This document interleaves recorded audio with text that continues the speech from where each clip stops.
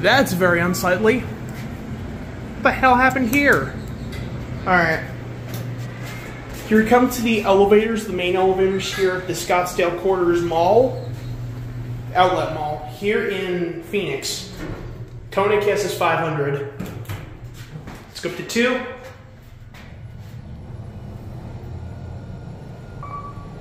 Nice buttons. It's very dark, and there's also two different tones of lights in this cab. See, there's one white light and there's uh, eight yellow ones. Door close button works. Does not work. There we go. Also, loose panel. This thing has a loose panel.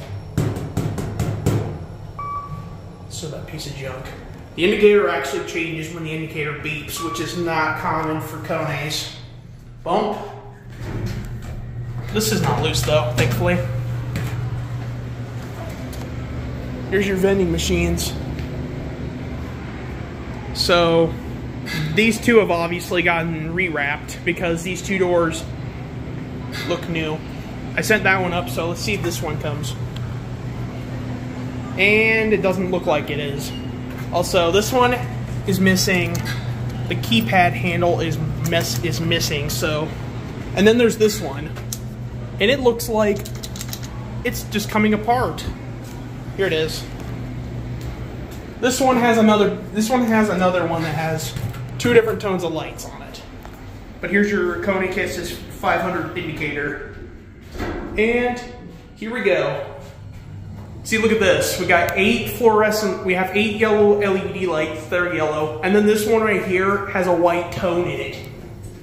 Probably a replacement, if I were to guess. Let's go back down to one, and then the video there. These things have not been treated in the best shape. They're not terrible, but, I mean, just look at this. You can see how much they do not care for elevator maintenance, that the indicators well, the indicators are fine, but the keypad, the key, the keys to access these elevators are crooked. It's like they have to replace them every six months.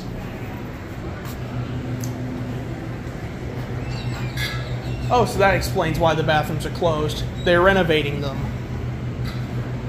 That's it.